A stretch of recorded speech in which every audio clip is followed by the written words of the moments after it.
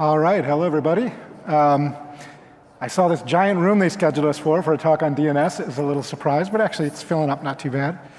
Um, my name is John Belamaric. Uh, I'm from Google, and this is uh, Yong. You want to introduce yourself, or I'll just it'll be a long. So Yong uh, is at Ivanti, and um, we are here to talk about core DNS. Um, so what is core DNS? I don't know how many of you actually are familiar. I mean, if you've been using Kubernetes, you may have been using it without knowing it. How many are you familiar with, with core DNS? That's pretty good. Um, so yeah, it's, it, when, when uh, Kubernetes first started, uh, it, in, it had a very strange DNS implementation that included um, sort of a dnsmasq running in a, in a pod along with etcd running in the same pod and a special controller that wrote the DNS config file, dnsmasq config files so that it could serve up things. And, and um, Yang and I at the time were at a, a, company called Infoblox, which some of you may know.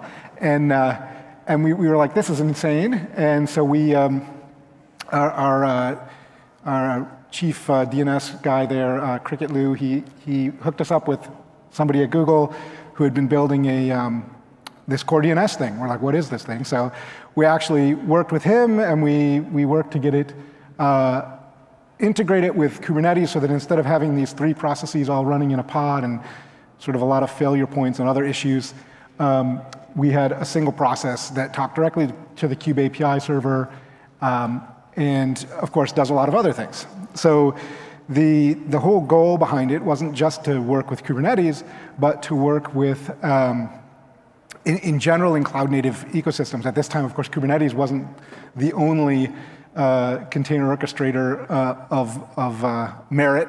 And so uh, we intended to integrate with others, but, but of course, Kubernetes won. Uh, and we primarily do Kubernetes now, although we also integrate and people use it as just an ordinary DNS server. So hopefully you can check it out for some of that, that as well. Um, the, the idea is instead of just serving based on you know, traditional zone files, you can serve up DNS from anywhere, from any source. Uh, and then you can also put uh, plugins within the request processing pipeline of the DNS request so that you can do interesting and novel things that are really challenging to do in traditional DNS servers. So architecturally, uh, we wrote it in Go, or you know, the Miek, who first wrote it, wrote it in Go, and we, we enhanced it. Um, and as a community, we've continued uh, to enhance it over, over the last few years. Um, service discovery, with or without Kubernetes, is a focus, but not the only thing we do. Um, that plugin architecture allows us to do interesting things. Um, we also added some, being, being sort of trying to do novel things and, and, experiment and see where things are going in the future, which is, it kind of provides an excellent base for that. We, we did some new and novel things like DNS over gRPC. That's not a standard, that is a core DNS thing. Um, but actually people use it and you can do really interesting things like pass, you know, um, uh, distributed tracing spans across your DNS if you use that. And so you can kind of get visibility into your entire request flow, including the DNS portion in ways that you really couldn't before. And you can also use it to integrate with policy engines, which is something we do as well.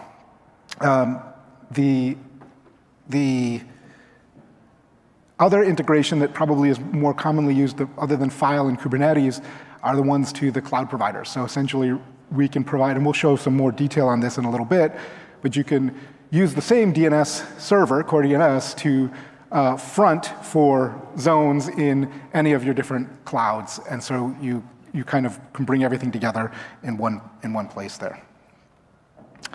Um, so we do have 350 contributors.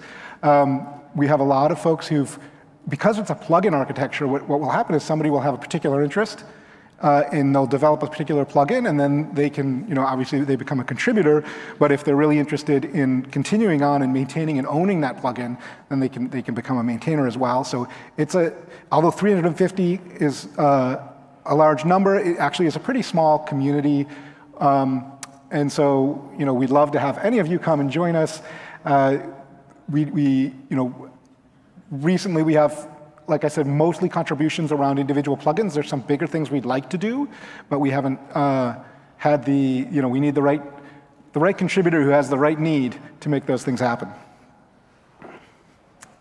Um, recently, our project lead, who was Miek Gieben, who started the project, uh, he uh, has decided to go on and do other things, and so we've moved to a steering committee governance model. So that's the last item on this slide, where it, it changes our governance model a little bit, but honestly, we've never had to escalate anything to the steering committee because it's a pretty friendly place. So what have we been up to recently? Um, we just uh, released 1.11.1 not that long ago. Um, we have one new plugin in there and then enhancements to existing plugins. Um, as I said, we do some novel things. So, you know, uh, some of the interesting things uh, you see these, these plugins on here, things like a template allows you to sort of uh, dynamically generate records based upon the metadata that comes in on the request. So it's really things you don't normally see in a DNS server. So I'd love to have, um, have people play with those and see what they think. Um, I think that's it for the project updates. Yong, you want to talk a little bit about service discovery and some of the ideas there? Okay, yes, okay, so service discovery is obviously one of my favorite topics. Your mic's not on. Oh, and I wanted to say before that, we do have a bunch of swag up here. So after the talk, you guys can come up and grab some and uh, uh, enjoy. Yeah, I, I want to discuss about service discovery. That's my favorite topic in DNS. Uh, many people probably ask, okay, service discovery by itself sounds like interesting, but how is that related to DNS? You know, DNS seems to be pretty simple, right? It's a, a DNS record with just one string with IP address what else do you expect, right? How, how is that DNS going to translate anything interesting into service discovery? But I want discuss that in several different angles. So first of all, why DNS still exists? You know, nowadays you have SDN, you have software-defined networking that can define anything you like. You, you're not limited by like a CIDR block. Your, your IP address space can, can randomly assign anywhere you want, right? Everything can be uh, if you want everything to be hard-coded, you can hard-code. You can say your web server is uh, 1.1.1.1, and inside your company, it's probably going to work if you want to do it this way, right? What's the point? What's the deal with DNS? This is one thing that's very important with DNS is that one, DNS is a nice indirection. And this indirection is very flexible and is something you definitely want. Uh, let's, let's talk about this way. If you have a corporate infrastructure and you want to make a change, you, even if you do, a, let's say, a software-defined networking, you hard code those uh, strings so that hard code those IP addresses so that people do not need to remember the DNS names, which uh, may sound like a DNS is getting uh, deprecated or out of favor. But in reality, changing uh, IP, IP in SDN is still going to be a lot more harder than changing DNS record. I mean, you change your DNS record, especially with the core DNS. That's just like one line of change, right, if you like. So that's why the DNS still has a place. Secondly, uh, uh, DNS by itself is distributed in nature. Many people didn't realize. When people talk about the distributed system, people talk about REP protocol, talking about uh, how big the system can be. But many people didn't realize that DNS is supporting a massive, scalable uh, distributed system, that is the internet, right? The whole internet is backed by the DNS, right? So certainly it's scalable and it's, uh, uh, it's distributed in nature. Another thing that many people didn't realize is that DNS by itself is pervasive in your IT, even in your IT infrastructure. Here, I, I assume many people are uh, coming from the uh, operations, DevOps, or SRE background. But in IT space, people still dealing with the DNS your, your corporate still has VPN. Your corporate may still have some internal website, and you have to manage all that.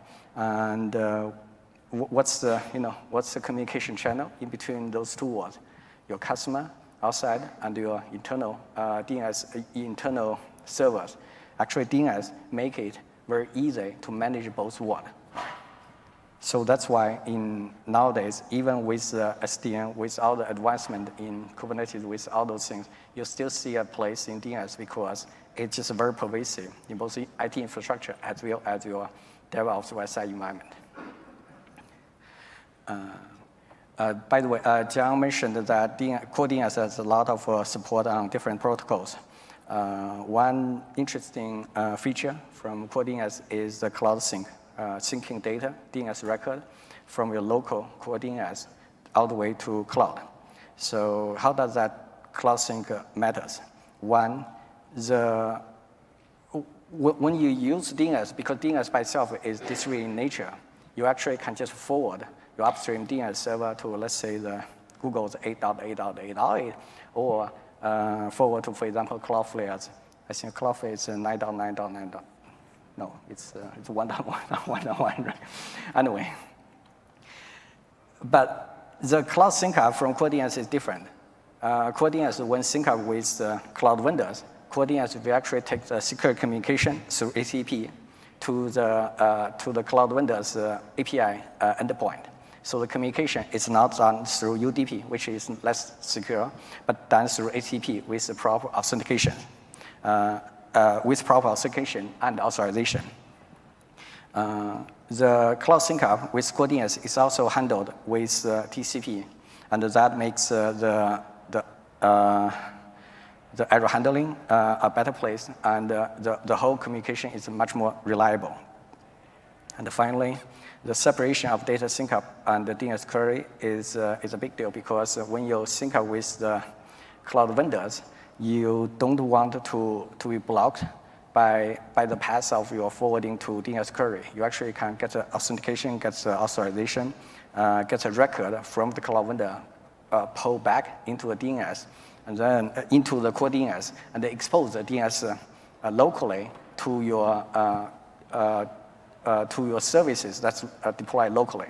The local environment, the DNS communication with the UDP seem to be an okay thing, but if you want your DNS to traverse through the whole chain of DNS and go talking to your local DNS server, all the way going back to the cloud vendor, that can add additional paths, and that can cause uh, failures at any time, and that could be a very critical thing in your operational environment. Uh, we, we talk about cloud sync up, and one interesting, another interesting thing about CoreDNS is that CoreDNS can actually integrate with the multi-cloud. Uh, nowadays, when people talk about multi-cloud, there are several reasons for multi-cloud. One reason, obviously, is the data sovereignty and uh, data residency you know, in certain countries, they may not want to share the data with another country, so you may be forced to say, okay, in certain countries, you, ha you have to choose a cloud vendor. That's may maybe different from the rest of the world. That's one thing. Uh, another thing that actually came to my attention is that when we talk about the multi-cloud, we also, the, another reason for multi-cloud is also the M&A, uh, especially with the, the current uh, high interest uh, environment. Uh, many companies you know, may have some uh, financial situations such as MA became you know, more active. In case of M&A, if two companies or three companies combine together, you may not have a choice. You have to do multi-cloud. And you may not be easily migrate from one cloud to another. I don't know if any, anyone ever uh, moved from one cloud to another in, in the past several years. Raise hand. Oh, interesting. Okay, how was the experience? How was the experience for uh, migrating from one cloud to another?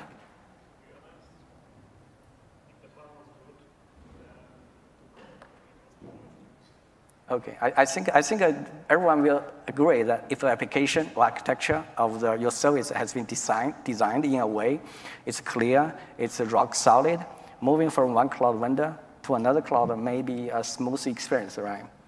But that's unlikely to be the case if you're dealing with the MA situation, because in MA, you're always dealing with all kind of legacy code no one wants to touch. Well, whoever wrote the code has already left the company, decided to go with some other interesting things, right? And, and in that situation, as operation guy, the only thing you want to do is don't touch anything, just leave alone, right? okay, so that's multi-cloud. Uh, uh, um, uh, in, in, in, in terms of um, CoreDNS. Another thing is uh, also has diversified source information. As I mentioned, CoreDNS consolidated both the customer information from cloud vendors, from Kubernetes, as well as the corporate DNS servers that will serve the IT infrastructure.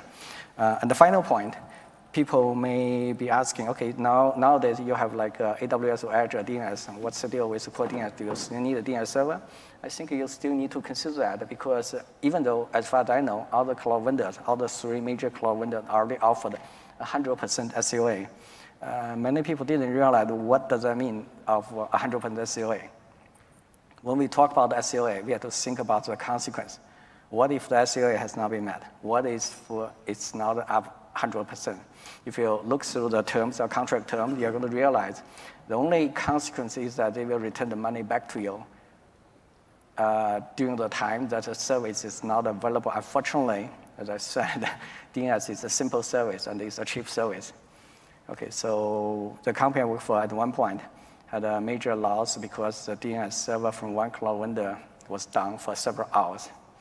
As, as that caused certainly millions of dollars of loss, but the, when we talked to the cloud vendor, we realized the, the, the money we can recover is so small such that they even offer option of gift card, Uber gift card.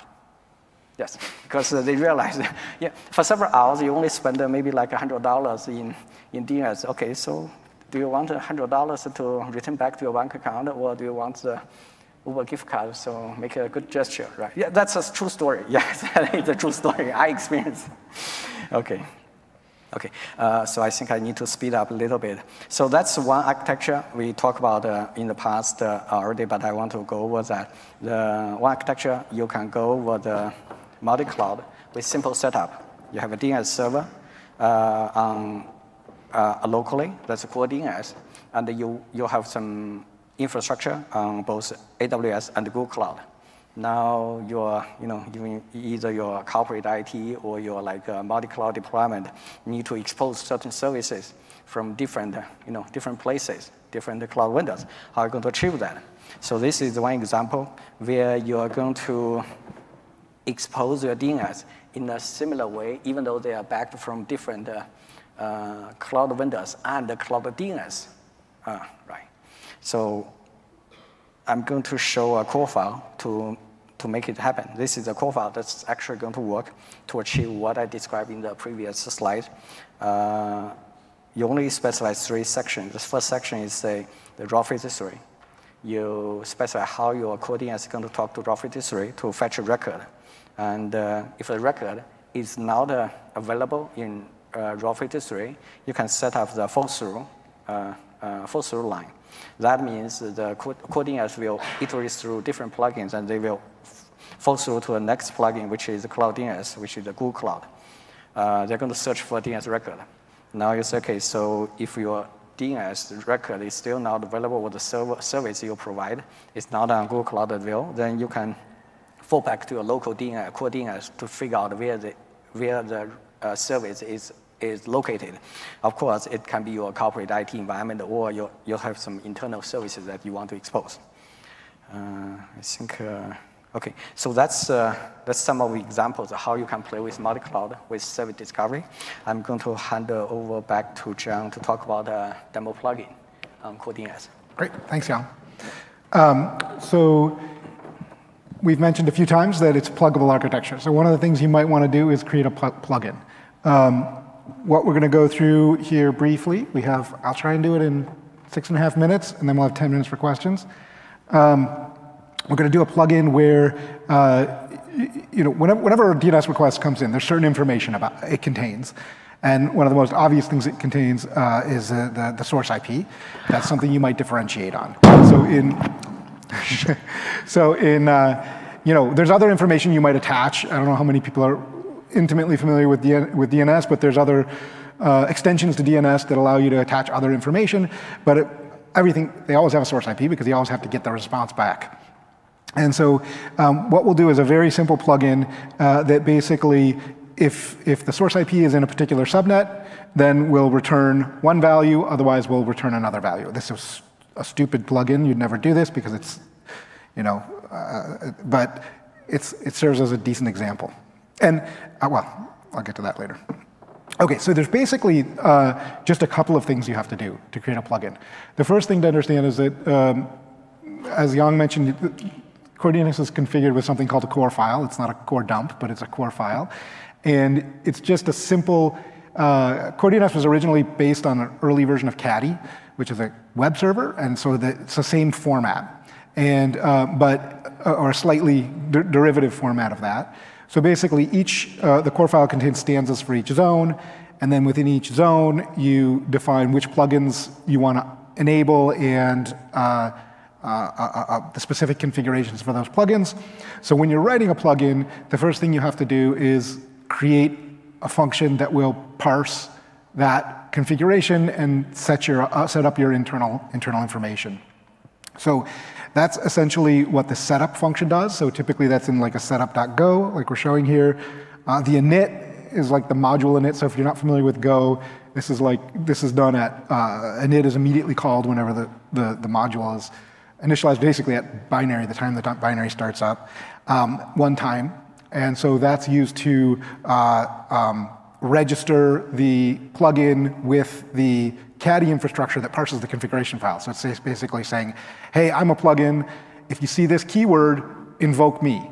So you pass it your setup function and the, and the uh, directive to call, and then uh, Caddy will call in, the, the, the, main server will call into your plugin if that appears in the, in the configuration file. It'll pass you the parameters for that, and you just populate your internal structures, whatever they are. So that's the setup.go, pretty simple. Uh, the, uh, then you have something that actually performs your request processing. So there's a serve DNS method. This is the only method you have to actually implement to, in order to, to, to, create a plugin that, uh, to process your request. Um, and it, it, just gets a, you know, it gets a request in and a response writer, a place to write the, the response back to in, and, and does, its, does its thing. If it doesn't know what to do with it, like it checks, uh, am, have, uh, is this a request that is in a zone I manage? If it's not, it passes it down the chain. Or in the example Yong talked about with fall through, fall through allows you to, to do that same process of like, do I manage this request, but even for a single zone. Normally, CoreDNS, a plugin manages and owns a zone, a backend plugin, but you can sort of divide that up with this fall through and say that, oh, this zone, uh, I, I, manage some part of it, um, but I'm not going to manage all of it. So even with Kubernetes, um, on reverse lookups, we do this. So reverse lookups, uh, the Kubernetes plugin needs to manage um, uh, uh, uh, the, the, service CIDR and the pod CIDR if there is one, uh, if you're doing pod, pod IPs, a pod DNS, uh, but the service CIDR if nothing else. And on a reverse lookup, if something doesn't fall within the service CIDR, we want to kick it out to whatever else to do the reverse lookup. So fall through is used there, for example. Um, okay, so what are that? I, I, took too much time on that. So init function, like I said, super simple. Register the plugin with the word demo and call uh, the setup function. So that's when it's parsing the config. It goes through the, the configs and um, adds itself uh, kind of to the, to the plugin chain. Very straightforward. Serve DNS. Okay, we grab the, the we take a look at the request. Uh, and we decide, we, are saying, okay, if the request is the, the, the, the, IP, the source IP is, starts with 172 or 127, then reply with this. Otherwise, use the 8888 reply, add that to our list of responses, and we're done. This is literally like what, 20 lines of code to write that plugin. So plugins are super easy to write, and you only need to think about the specific functionality you care about, and you can just hand off everything else to the rest of the system to deal with. The core file ends up look like, looking like this. This is saying that this core file manages dot, so everything. Um, and so demo is going to handle everything. Um, and this is just how to run it. So if you pull this deck down off of, uh, off of uh, Sched afterward, then uh, you can copy this out of here. So that's the link to it. And um, I did it in five and a half minutes. Um, hopefully not leaving too many questions. Um, before we go to Q&A, uh, we'd love to have you come join in uh, if you've got a unique plugin. We have tons of external plugins. There's two classes of plugins. There's the ones that are built in to the binary that we build, um, and then there are external plugins. But it's pretty easy, but plugins are not dynamically loaded. If you're familiar with Go, Go is not great at dynamically loading things. I mean, it, newer versions have it, but um, the, the, they're just compiled in. But it's quick and easy to compile, so you just add a line to a file, compile, and you've got your own custom core DNS with your plugin in it, and you can. The other, the other kind of gotcha is that the the plugin order chain is not related to the core file, it's related to the compiled in ordering. So those are probably the two biggest gotchas with doing plugins. And uh, so, but otherwise, it's pretty, pretty straightforward. So thank you, and I think we can go on to Q&A. Any questions? You will get first pick of the swag. no coffee. Yes, sir. I, I do want this one. I, I have a genuine question. So, uh, in the core file, do I have to follow the order in which the, the plugins were compiled? Ah, so the question is, in the core file, do you have to follow the order of the plugins? No. Uh, you can put them in any order, but when the request happens, the request will be processed in the order of the, compiled in order of the plugins. So for example, um, uh, there's a, the, there's a plugin you know, to handle files, so zone files, and there's a plugin to handle Kubernetes, and there's a plugin to handle Cloud DNS from Google, right? They're in a specific order. So the first plugin that gets the opportunity to handle the request is going to be the first one that, that's, that's compiled in in that order, regardless of the order you, you enable them within the core file. And now you can grab something. yes, sir. If, it might be better. I think it's recorded, so you probably should use the mic. That's why I repeated the question last time. Yeah, I have uh, two questions. Hopefully, they'll be quick. The first one is for the multi-cluster example. Are you putting that configuration in a separate core DNS that you're running outside your Kubernetes cluster, or just the one that comes with? So basically, Your mic. So basically, when we talk about multi-cloud, you're actually talking about your service deployed into a multiple cloud environment mm -hmm. or your local cloud environment. However, your, your DNS is scattered around, but there's one core DNS that's sitting uh, at the center of information so that you can see through all the backend information like from Google Cloud or from the AWS or from Azure. So there's one place you can see as a source of truth. Yeah, like it has nothing to do with the core DNS that's running in Kubernetes. Sure. It could be completely, you could be running it in Docker, you could be running it right. on a, a, hosted, like, and in fact, I would recommend that you don't do anything else in the Kubernetes. So we have a bunch of things like like uh, external DNS, where you can, um, uh, external Kubernetes plugin, where you can take things that are uh, like, like your services or your external IPs on your, on your uh, Kubernetes services, and you can expose them via DNS. Even for that, I would recommend you run a separate, because that way you don't threaten your internal cluster DNS with external traffic, which could overwhelm it. Yeah, that was interesting because that was actually one thing that I immediately looked up was that plugin exactly. Um, okay. That's interesting. Yeah, and then the second question I had is we have a very kind of niche use case. We're using core DNS SRV records for service discovery between our multiple layers in Kubernetes. We have a desire to be able to set the, the weighting on a particular instance on the uh-huh. fly. Uh, do you know if there's anything off the shelf that does that in core DNS, or is that something that we would want to write a plugin for and just put in the chain after the Kubernetes plugin? Or? Um, so we have a few interesting plugins. I don't know if they do that off the shelf. We have one called Rewrite. I don't know if it can rewrite weights on SRV records.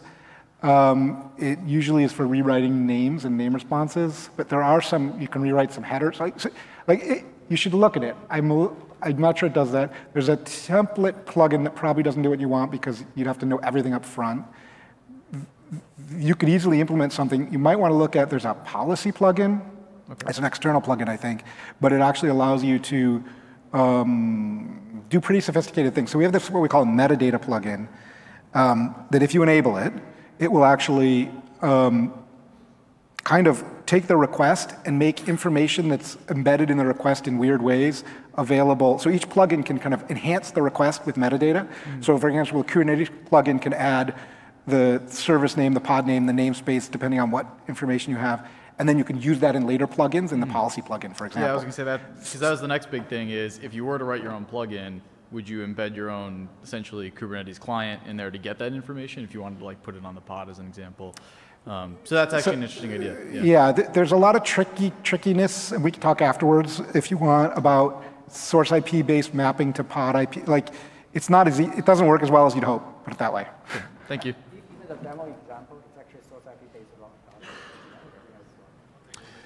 Uh, thanks for your presentation. Um, I had a question. Um, we run EKS, and lately we have had problems with core DNS timing out extensively. Um, I don't know if it's a CoreDNS problem or an EKS problem. So our workaround was using node local, local cache on each node.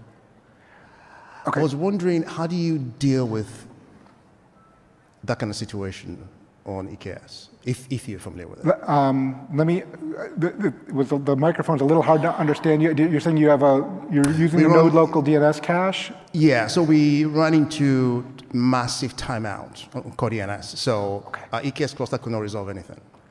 So we couldn't figure out what was going on. Right. You know, apparently it's a common problem in EKS, EKS and, and CoreDNS. There's a lot of people that have the same problem. Okay. Our solution was to use a local, node local, uh, node local Yeah. cache. Uh, that seems to solve the problem. But I was surprised that uh, CoreDNS had this issue with EKS. It, it's probably not core DNS. So there's a number of issues. We, we could look into, there's, there's a few issues where, that we've seen over the years, although I would be surprised that we're still seeing some of them because they were related to kernel bugs and, and UDP timeouts in the conntrack table. Um, those are some of the, the really old ones. EKS has, depending on the kind of node you have, has request, you know, uh, network limits that in DNS world are really low, like 50K QPS, right? But, but in most people's circumstances, a node getting 50K QPS is, is high, is a high number. But, but that, like, when we were doing testing back in Infoblox, I mean, even five years ago, it was like, we couldn't get, we couldn't get Amazon to nodes to deliver very good uh, um, DNS service because of all those limits. So there's a lot that can go into it. I'd love to maybe talk more afterwards. It's really hard without um, getting more detail, but you shouldn't run into, like the stuff that's served out of Kubernetes, it's literally straight out of memory. You don't even need uh, DNS cache. It's like we're already have it in memory. The whole thing's loaded. It should be almost instantaneous. So it's likely a networking issue between, between there or a UDP conntrack. Like UDP, the entries in the connection tracking table in the kernel have to time out, whereas TCP, they get removed as soon as the connection's closed. Okay. And so that's why one of the things node local DNS does is it upgrades the connection from the node to the central core DNS to TCP so that it'll get, it won't run into these conntrack issues. So that's one of the. you- Yeah, I, I, I want to add a couple of things, you know, based on at least my past experience. Whenever we see uh, like one thing as an issue, uh, I normally will look at the networking to make sure the, the, the path that runs from, you know, from your service or from where the DNS request happens can reach to the DNS server. And uh, try, try to diagnose with a networking issue because that's the most likely scenario. Uh, as, as John mentioned, DNS, uh, that's one, one reason uh, we, when we do the cloud sync up, we use uh, uh, TCP. I mean, people may believe, okay, UDP, that's going to be more efficient, but that's not necessarily the case because the UDP, other than DNS, who else uses UDP? Okay, so optimization, uh, now the focusing on this area in, in Linux kernel, in any place, people are focusing on TCP. So TCP normally have a high optimization, but UDP are falling behind. In fact, you cannot even find a lot of uh, UDP-related software rather than DNS. That's why the, if there's any issue, it's likely going to be networking issue or UDP-related issue that's caused by kernel. But I, I mean, most of the time, unless you're doing something really massive, No, we're not. or your DNS are serving some record in a very, I'm going to say TTL, very, very short TTL, you, it's very unlikely your, your DNS will be flooded. We, we tried a bunch of those, T- increase TTL, increase cache, and a bunch of other things. Yeah. It worked for a while, then it started failing again. You know, but mm-hmm. well, talk to you guys after the, after the presentation. So just to get more information of how we can solve the problem. Thank you. Okay, sure, thank you. Sure. Hi there. I am a manager in a room of engineers. This might be a very stupid question. Uh, thinking of modern uh, practices by which engineers are developing um, DevSecOps platforms and consuming them, uh, one of the patterns that we see is uh, developers using bastions within AWS uh, on EC2s, and then we have uh, our DevSecOps workloads such as Kubernetes and Nexus running within cluster. As we have those resolving uh, with like publicly trusted certs, what is a method by which we consistently resolve those records both in cluster and out of cluster? Um, that might not be a plug-in question. If it's out of scope of this talk, I apologize. It's, I, for some reason, it's hard. People are soft-spoken, and it's really hard to actually understand your. Maybe because we're behind the speakers. Can, are you saying the you're serving? You want to do DNS resolution for workloads that are in the cluster and out of the cluster? Um, workloads that are within the cluster but provide that um, experience consistently. So let's say like Istio creates an uh, internal load balancer, it knows what it is within cluster and manage it. We can resolve that, um, and register that within like Route 53. We can register that within Route 53 um, through some manual operations or GitOps flows. Uh, within the cluster as well, how do we manage those custom DNS records? Custom DNS records within, from within the cluster. Yeah. So um, I- I think you can do that. Um, there's a couple of options, right? So one option is you can create external name DNS or external name services, and then it just works as it does today. The other is you can use. Um, you, th- this is a case where you might want to use additional plugins within your Kubernetes DNS instance. I talked about not doing that earlier, but that was more because of external traffic coming into the cluster um, could overwhelm your, your cluster DNS and cause your things within the cluster to fail. But if what you're doing is things within the cluster need to get DNS access to things that don't live in the cluster, then these additional plugins would be just the right thing for it, I would think. Gotcha. Thank you. Yeah. I think we're over time, so thank you very much. Come and grab some swag. I don't want to take any home. So, thank you.